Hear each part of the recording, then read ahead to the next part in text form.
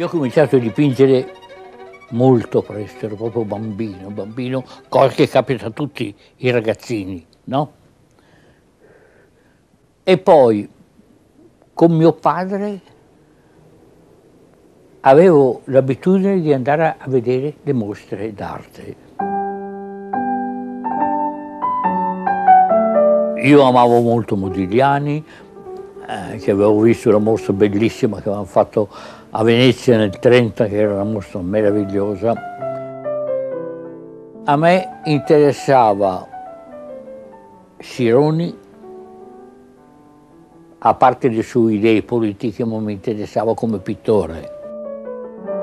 Il Novecento non lo amavo molto, anche perché gli amici che avevo allora erano per esempio Raffaello Jolli, erano Persico, era questa gente che non mi aveva fatto amare il Novecento.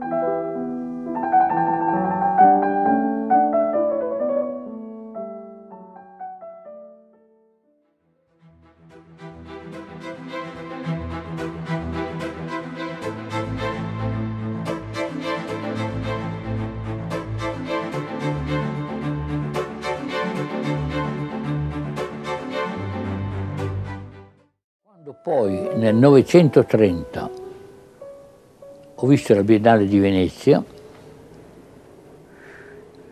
ho capito alla Biennale di Venezia, nel padiglione tedesco c'erano gli artisti del Bauhaus che Hitler non aveva ancora cacciato via.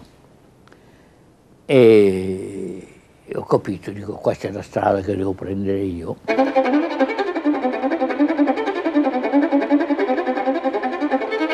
Questa idea di portare le, le idee base dell'arte in tutte le varie espressioni d'arte è la cosa che mi ha interessato di più e che io ho seguito poi. Io ho studiato molto i, i russi, molto, i costruttivisti russi.